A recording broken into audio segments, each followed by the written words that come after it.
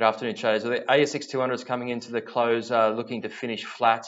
Uh, same along with the Nikkei, but there was some excitement in the Nikkei earlier in the session where it did touch 33-year highs briefly before paring back. Uh, so that's rallied uh, around 30% for the year and up 8% in the last month alone.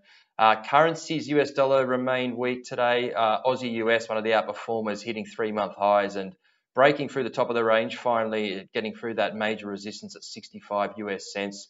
Uh, how that holds in the US session, I think will be key to where the Aussie US goes from here. Uh, US dollar yen has drifted lower as well as that US Japanese differential in rates as it's further tightened with falling US yields. Uh, the pair's drifted now below 149. I'm sure that's kept the uh, Bank of Japan happy. Quiet calendar ahead.